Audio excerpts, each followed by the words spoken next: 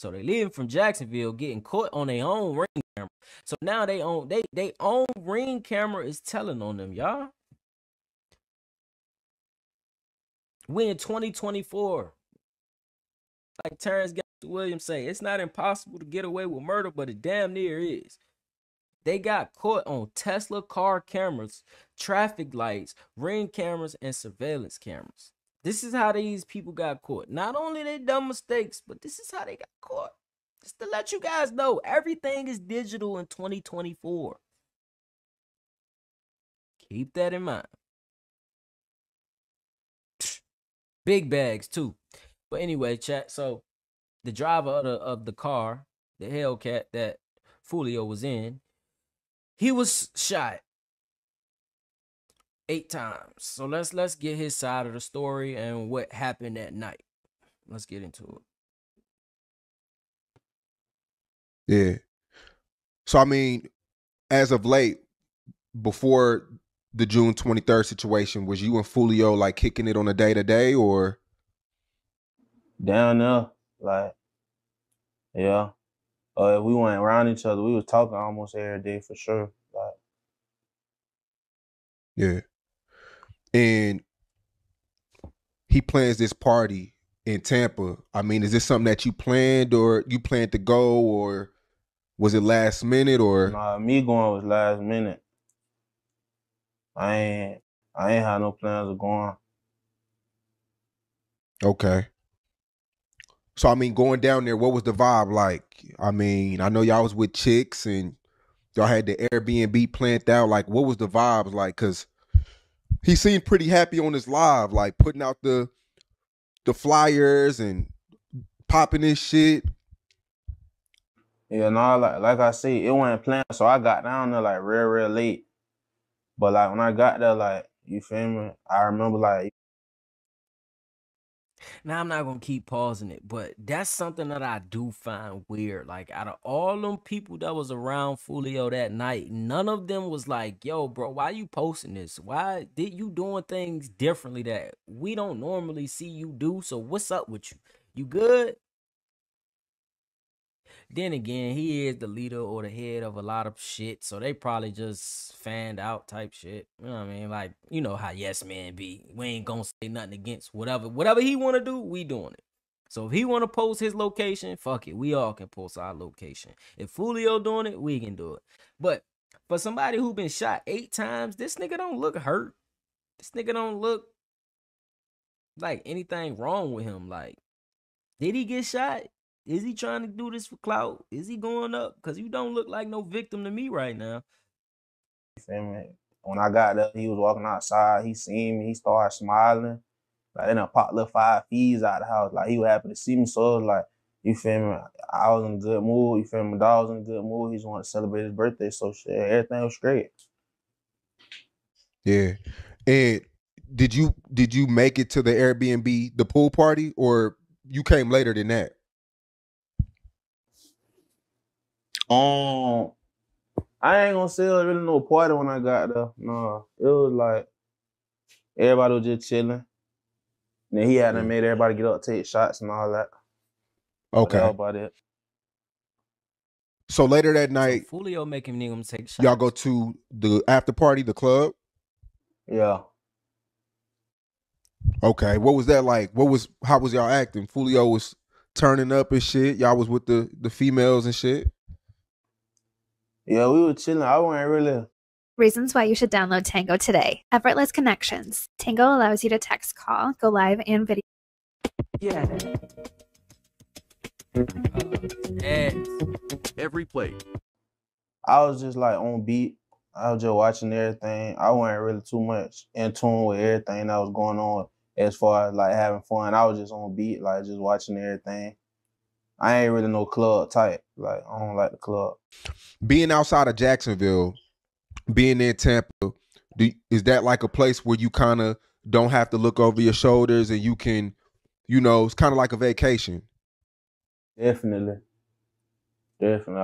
I I, I definitely felt a lot safer all the time because we hadn't been up, up before. You feel me?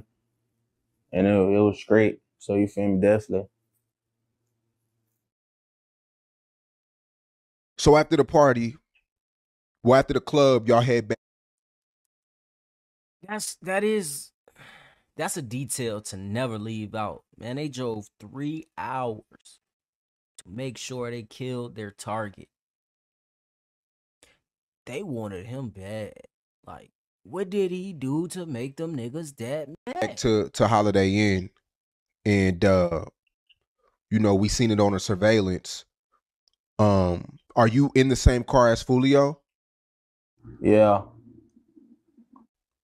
Okay, so Foolio's in the passenger side. Are you? bu- You're behind him. Nah, I was in the driver's seat. Okay, you were the driver. Yeah. Okay, can you take us through through that moment driving into the Holiday Inn, if you don't mind? Um, we went at the Holiday Inn. We was next door to it, but it was. I ain't really like I said. We out of town, so I wasn't really thinking much. You feel me? So we get to the we got to the hotel. Um, went in. The rooms was already reserved, but I guess they had like a a glitch in the system or something, so they ain't let us get the room. So then he came back out to the car and we was just chilling, basically. Trying to figure out like where we was trying to go.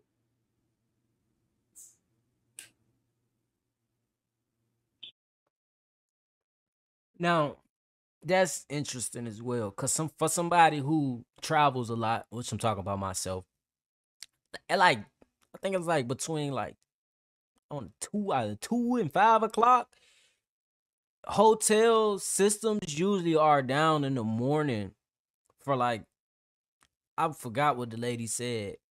Like some housekeeping lady, she told me before, but she was like, it's like um some system updating manage management process they doing or something like that. So it's usually harder to book, you know, hotel rooms in the wee hours of the morning.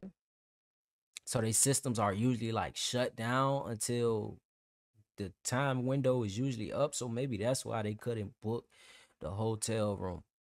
Hmm. So basically, y'all were just chilling outside the Holiday Inn when the whole glitch in the system. But then I, I heard something else though. It's like you're out of town, and I understand you're out of town. This is coming from somebody. I'm a logical thinker, you know what I mean, and used to being coming from that environment. And it's like you're out of town. Why does that like that's like not the the best time to start lacking that you out of town. Like I would think like people antennas would go up even more if they're out of town, but I guess that was the vacation spot for them. So they like, oh, we go to Tampa, don't nothing really happen. But for me and my my people I be around my team, it's like our antennas are up even more. Like the ruthlessness is like that much more crucial. In town, it's like, okay, I know this, I know this, I know what to do, what not to do. Out of town, you don't know where something might come from.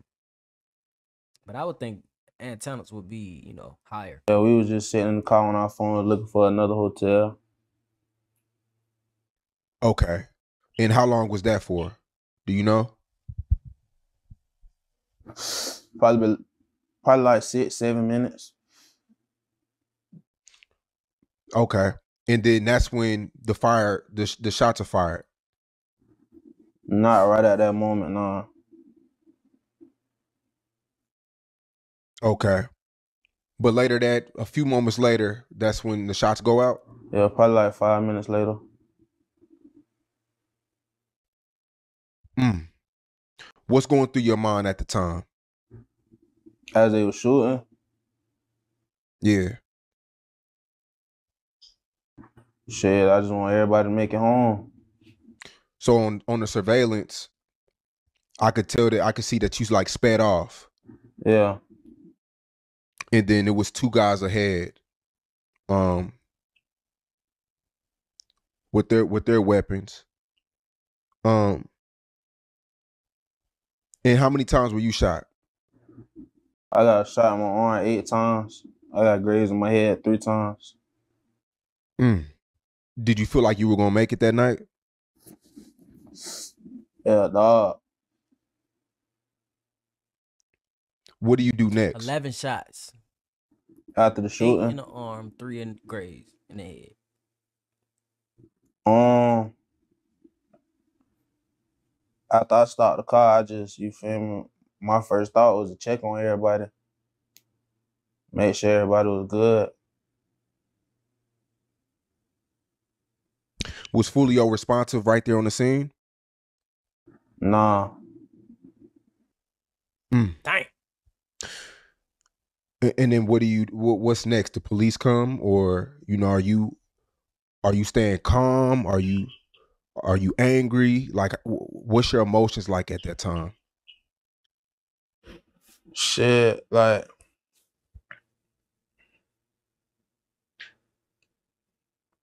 in the moment, I ain't even gonna say like I ain't even gonna say like I was scared or nothing. You feel me? Like, cause He this ain't the scared. This situation. bullet- Like, what?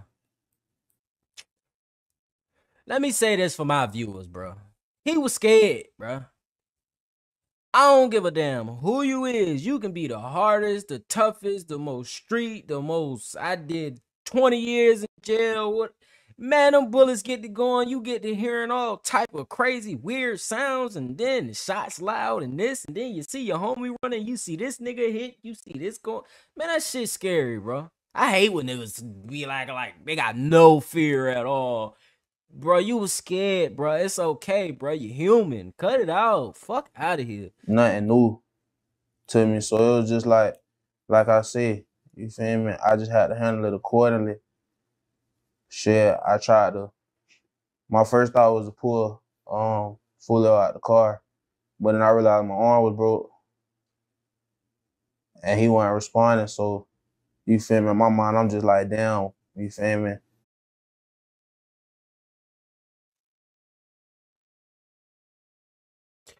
So, damn. This entire time, and then let's break it down on, you know, street talk politics. Let's say that that uh, I see my homie is. I could see where he got shot at. He's not moving. I can see he's not breathing. I can see he not responding. I can see it's no point of I'm still gonna check, but it's no point of you know rushing to the hospital and trying this and trying that. I can see he's unresponsive. Like as many shots as my homie probably took, then I'm shot up too. It's like, bro, I can see if I'm barely making it out and he is unresponsive right now. Yeah, it's probably it's it's probably over with. You know, so damn.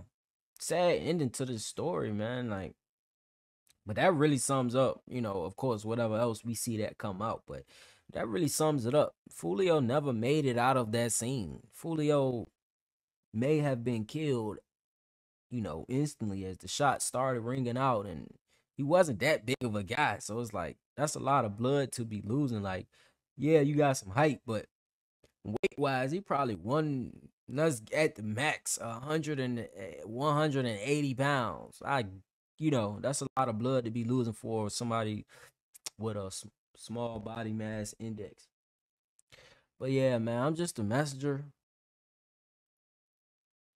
They wanted their targets, man. They hit their targets, and this just what we get to see. You know, I guess Omerta was it five five. Let's see what he do with his career. Let's see if you know people like what's it, Lil Crocker and and stuff like that, or people who was actually rocking with Foolio can keep the legacy alive. Can can keep what he was working for alive. His mom also did an interview. You know, I don't I don't want to commentate or react to that because you know. But yeah, I'm just a messenger. Y'all like, comment, subscribe. Y'all let me know what y'all think about this whole ordeal. I'm just a messenger. I'm just a nigga with an opinion. Y'all like, comment, and subscribe.